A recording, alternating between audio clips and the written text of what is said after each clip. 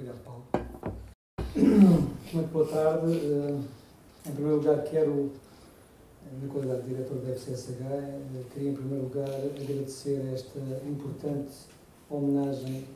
a um dos nossos colegas mais destacados e dos que teve maior importância na forma como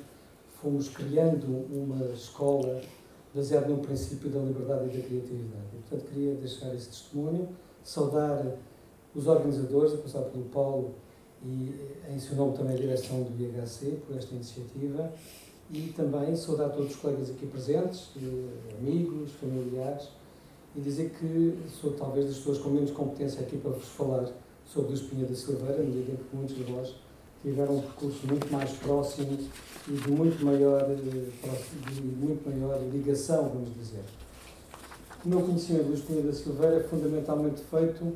numa outra faceta de que o Paulo não falou, que é nas suas componentes de gestão, onde estive, partilhei várias das funções em que ele estive, nomeadamente enquanto subdiretores durante um período de 2005 a 2008, a altura em que o Luís eh, passou, eh, se tornou eh, pró-reitor da Universidade Nova de Lisboa. Essa experiência foi particularmente enriquecedora. Eu tinha tido, pela minha área de formação, que é a Sociologia, concretamente as questões de ordem territorial, tinha tido algum trabalho de cruzamento com o Luís e com geógrafos, sobretudo, e foi uma experiência muito interessante porque,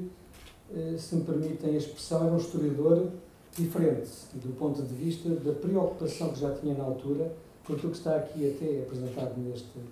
nesta belíssima imagem, que era a preocupação com uma, uma linguagem em torno da cartografia que ultrapassava claramente o que na altura era vulgar. O Luís tinha uma capacidade inovadora a esse nível que eu gostava de salientar,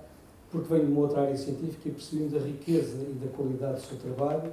que tive a ocasião depois, em duas ou três ocasiões, de voltar a encontrar, mas foram esporádicas, infelizmente, para mim foram muito esporádicas. Gostava de dizer que, em termos da parte de, da minha experiência de contacto com o Luís, uh, aquilo que me deixou mais impressionado foi não só o rigor como tratava os assuntos, também a sua exigência, que era um dado particularmente importante, mas ao mesmo tempo a sua liberdade.